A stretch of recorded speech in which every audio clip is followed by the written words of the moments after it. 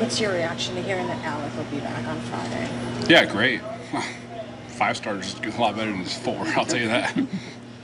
Chris uh, asked Jose Berríos about what uh, a month of four man was like earlier. He said it was pretty rough. We realized it's something we had to do, but obviously prefer five. Just looking back, do you feel like the four man affected you in some way, not getting an extra day of recovery here and there? Did that have any impact on you? as you were yeah, going through it? it affected all of us, no doubt. No doubt about it. Um, couldn't work out the way we wanted to. Couldn't throw bullpens the way we wanted to. Um, but at the end of the day, we just got it done. I mean, we knew the situation we were in, kind of thing. We had to do was best for Alek, and I think he's going to come back and be great for us. But I mean, it was just getting through it. Um, but yeah, um, I think. I mean, heck, organizations are going to six-man rotations for a reason, and we're going to a four-man rotation, which is, I mean, no one's ever going to go to a four-man rotation unless you have to. Do you remember a time in your career where you've had that before?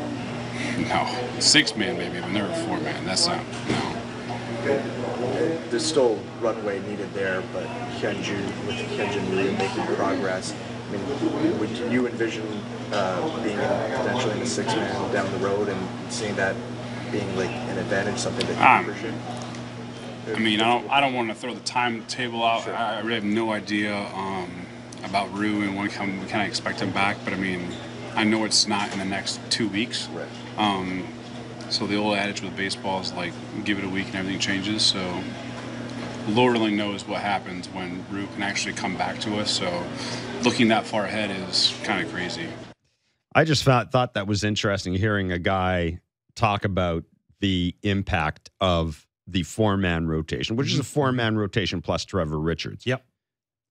Okay, the the, the very because I've never heard that clip before. It's Mhm. it, I'm I'm so happy you you brought that and we got to hear that.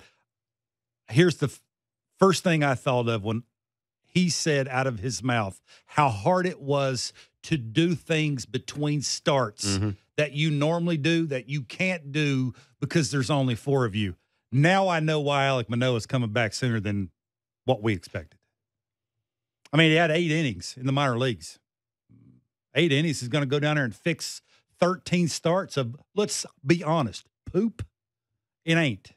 But to listen to that and knowing Pete Walker and John Schneider, the the communication skills between those two and those guys that are their everyday grinders and know that if Bassitt is saying that to Hazel and Shi Davidi and whoever else was standing around there, you don't think he's saying that to Pete Walker, Ross Atkins, John Schneider, saying uh, uh, Uncle, like we, you want Yeah. the best out of me, you want you want the best out of the group.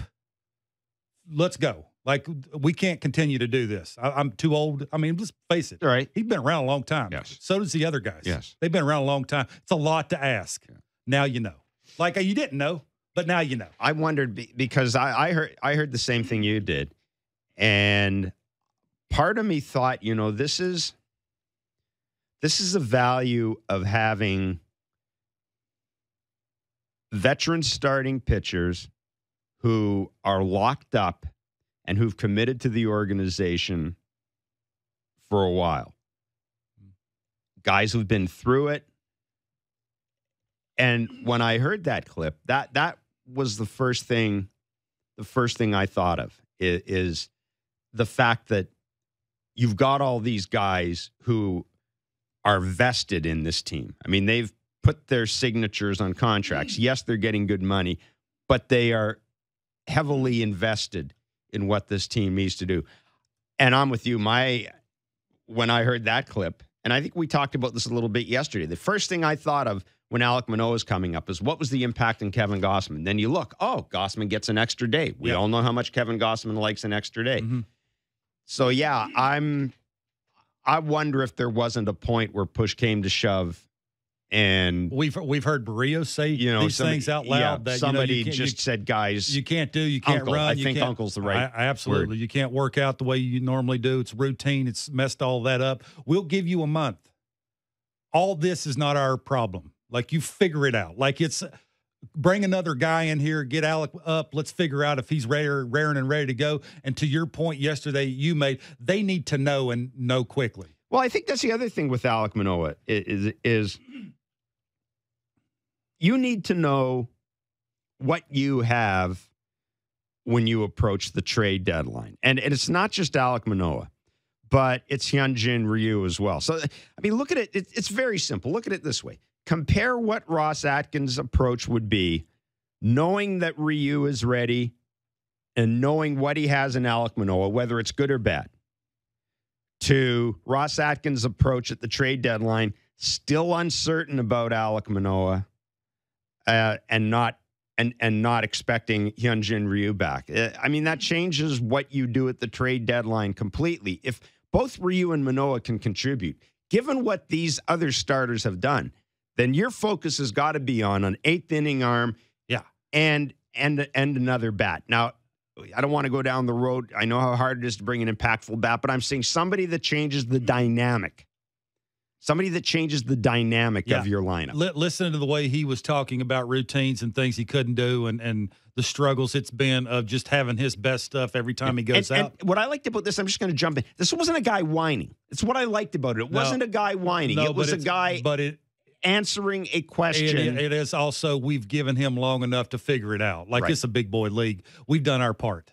You, you, you- like we can't continue to do this, and you think that we're going to make a serious run with this thing after the All Star break.